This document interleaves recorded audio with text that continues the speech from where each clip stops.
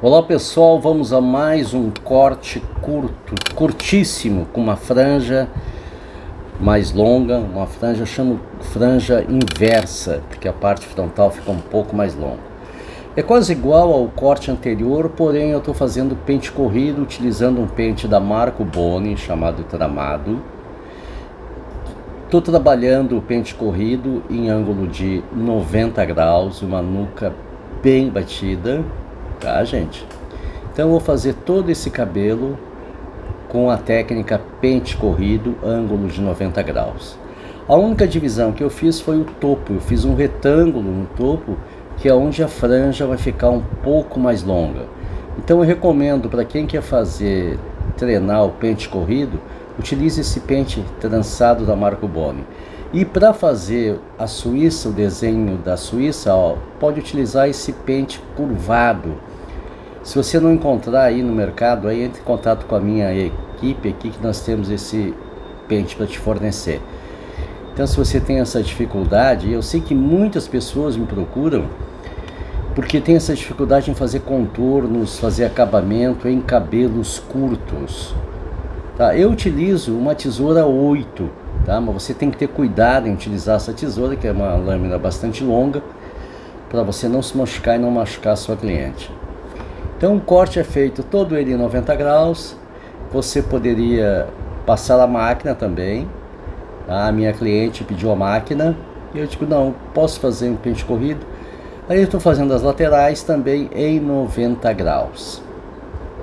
Bom, gente, eu havia falado que esse corte vai ser um dos cortes mais utilizados, porque tem, uh, tem novelas que tem atrizes que estão utilizando esses cortes bem curtos.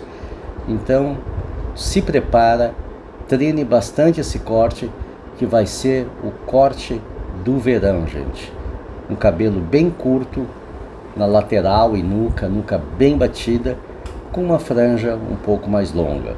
Tá? Eu utilizei a técnica da franja undercut, que você corta ela toda de uma vez só.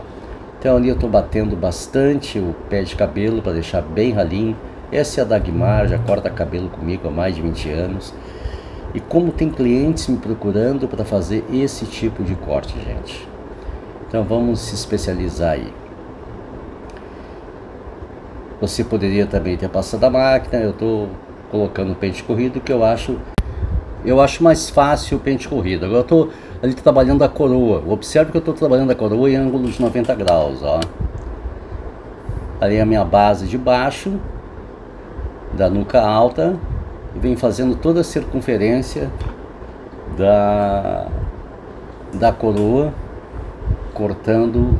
Esse corte que a gente dá aí, esse corte reto no cabelo, chama-se corte repetitivo porque todas as mechas ficam do mesmo tamanho, certo? Então faço aquilo ali para dar uma harmonia entre a coroa e a nuca alta.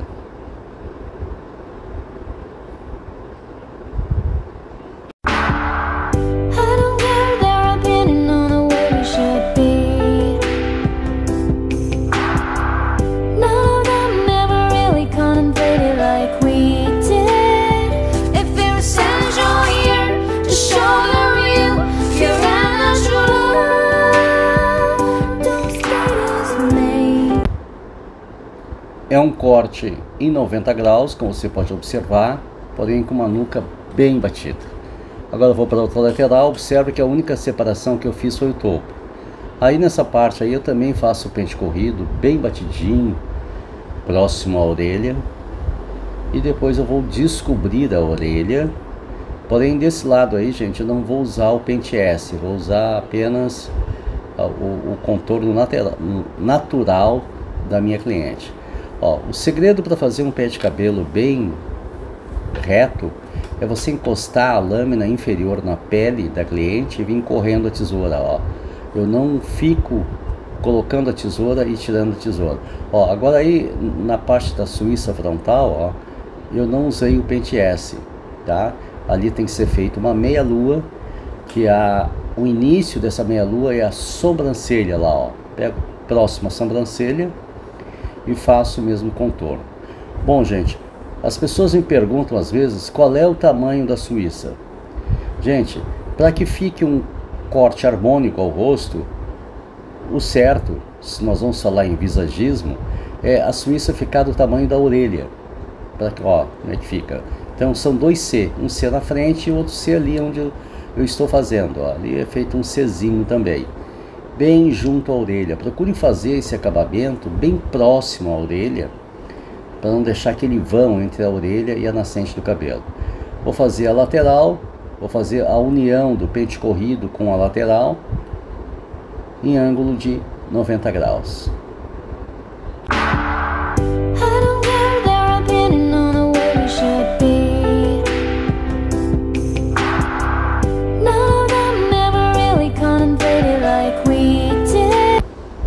Continuo fazendo pente corrido para dar uma harmonia melhor.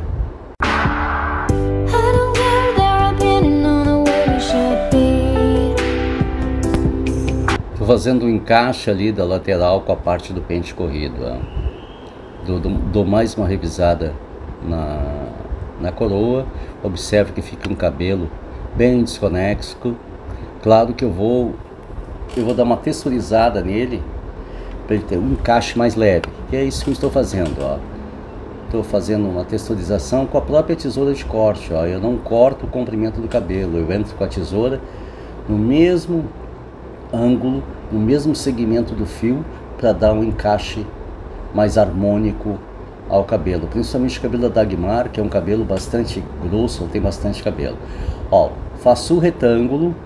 Por que esse retângulo? Esse retângulo facilita que a cliente pode usar para qualquer lado, tanto para o lado direito quanto para o lado esquerdo. E pego a mecha da coroa como base, ó. Levo toda a mecha para trás, na altura da coroa, e dou um corte somente. Se quiser texturizar depois, pode texturizar, vai depender do cabelo. Tanto pode usar para o lado esquerdo, ó, vai ficar aquela franja maior, ou para o lado direito, tanto faz. A Dagmar usa para o lado direito. Ó. Certo, gente? Bom, gostaria de agradecer quem está inscrito no canal, quem tá não, não, não está inscrito, se inscreva, toque o sininho e compartilhe, gente, esse vídeo com outras pessoas e façam suas perguntas, suas sugestões. Então aí é o corte pronto. Muito obrigado e até o próximo vídeo.